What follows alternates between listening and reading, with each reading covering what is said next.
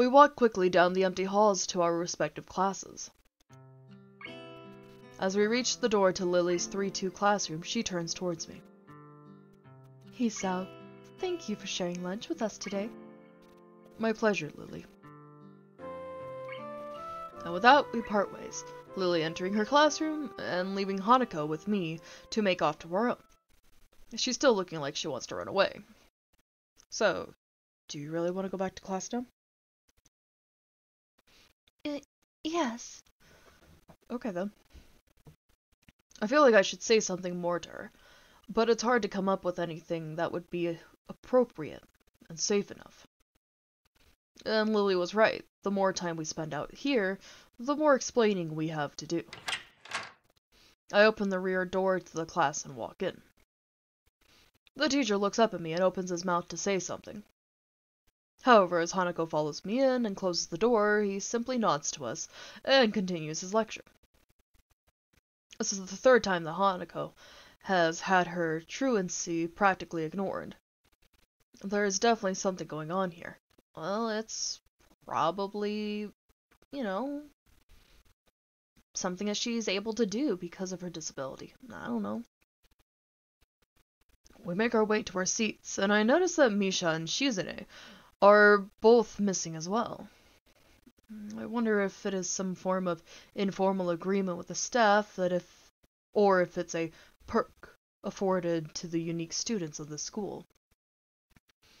Trying to make as little disturbance as I can, I extract the relevant textbooks from my bag and start catching up. The class goes on quietly. The teacher seems like an okay person, despite the weird first impression I got, and the material is relatively interesting. However, the way he teaches is really bizarre. It's as if he expects that everyone is a natural genius. When the final bell sounds, I realize that there's still a lot of time left in the day, and I'm left wondering what to do. It's odd that the hospital I had 24 hours a day of free time, but here, filling the considerably shorter hours feels difficult. Everyone else leaves and I'm left alone with the teacher.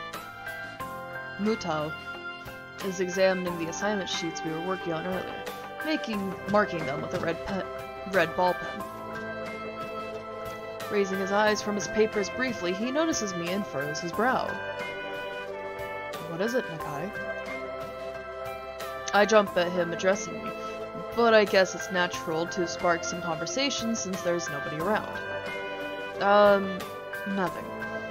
Thinking about what I do after school. The teacher slowly puts a cap on the pen. He is holding and arranges his papers into a stack, clacking it against the desk twice. He seems very methodical, and for a brief moment I'm reminded of she's But the teacher is more unhurried and relaxed, much more routine. You have no plans? No, I consider joining a club, but I don't know what kind of club would interest me. Go observe a meeting of someone else's club. Might pique your interest. I guess. I just... But I don't know how to continue from there. Muto looks at me in a way that makes me quickly want to take the words back to avoid a conversation. I can't, so I have to forge ahead. I just don't know how to deal with people. I mean the other students. I'm talking to people and everything, so it's not like I'd be isolated or anything. I just don't know what to think about the disabilities. It's like it feels that I'm being impolite if I pay attention to them, and it's weird to ignore them. Damned if I do, damned if I don't. The teacher scratches his cheek absent-mindedly, looking very unresponsive. These things are only an issue if you make them one. You can talk normally with someone even if they are blind or something. Try to look behind the superficial.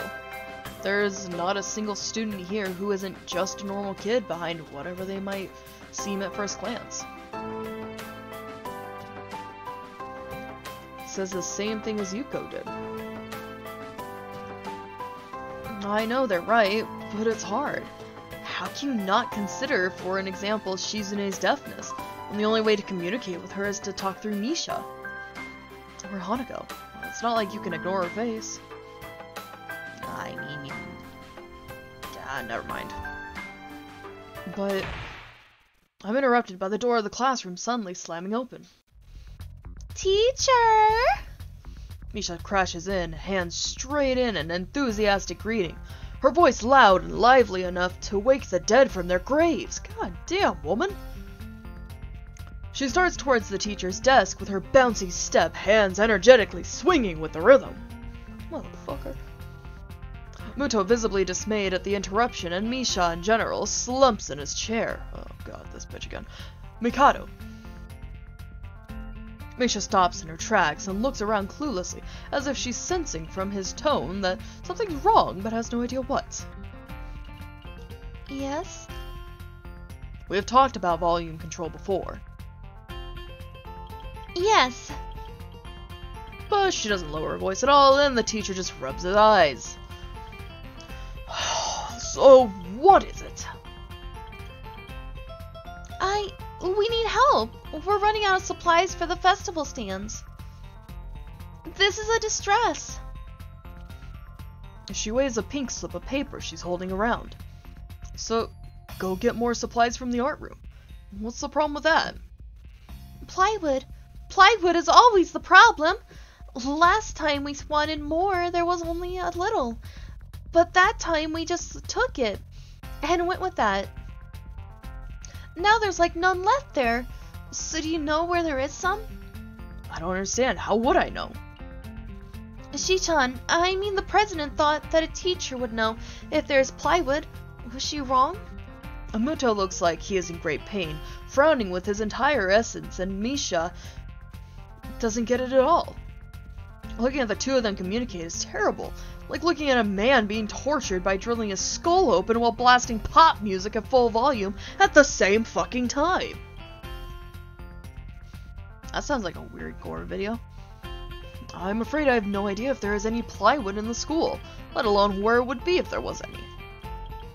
Aw, what should I do? Perhaps try to find Mr. Namiya? Or Nomiya? I'm quite sure he would know where to find everything you need. You'd have to pry them from his cold, dead hands, but that's a different matter.